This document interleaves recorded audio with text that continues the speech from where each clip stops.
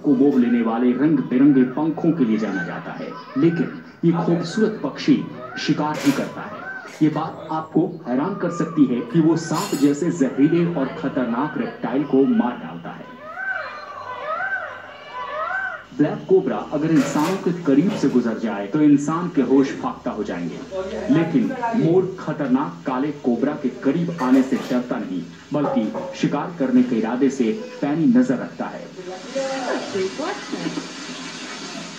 इस तस्वीर में देखिए, जब दो मोर एक खतरनाक कोबरा सांप को अपना शिकार बना रहे हैं, मोर कोबरा से बिल्कुल डर नहीं रहा।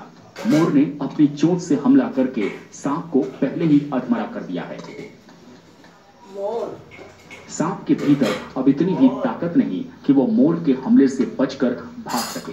लिहाजा सांप वहाँ बेसुध पड़ा है और दोनों मोर अपनी चोट से सांप पर चोट कर रहे हैं।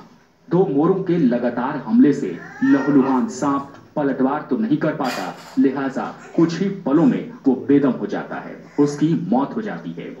ऐसा माना जाता है कि मोर सांपों का दुश्मन होता है। मोर के सामने अगर सांप आ जाए तो सांप का बच पाना नामुमकिन है। ऐसे कई किस्से उन इलाकों में मशहूर हैं, जहाँ मोर काफ़ी तादाद में पाए जाते हैं। मोर और सांपों की ऐसी कई जंग के चश्मदीद लोग अपने ही अंदाज में मोर के लड़ाकू अंदाज को बयां करते हैं। लेकिन आखिर इस दुश्मनी की वजह क्या है, कहना मुश्किल है। हालाँकि पर्यावरण में संतुलन के लिहाज से मोरों का ये अटैक काफ़ी अहम हो जाता है।